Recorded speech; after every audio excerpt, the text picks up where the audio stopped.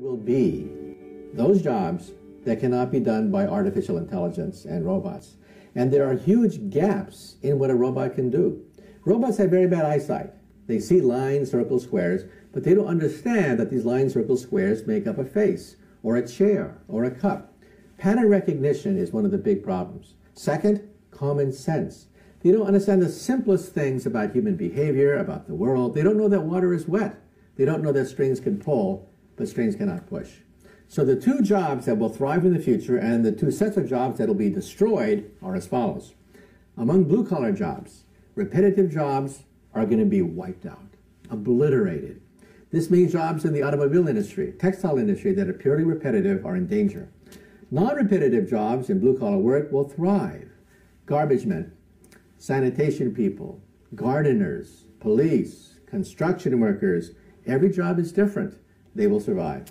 In white-collar work, it defies common sense.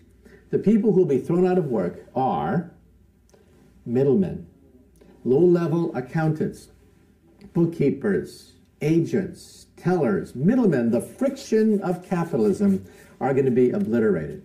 So who will benefit among white collar workers? Workers who engage in intellectual capitalism. What is intellectual capitalism? It involves common sense. In other words, creativity, imagination, leadership, analysis, telling a joke, writing a script, writing a book, doing science.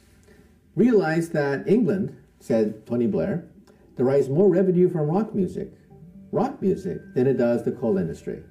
Because we're making the transition from commodity based capital like coal to intellectual capital like rock and roll.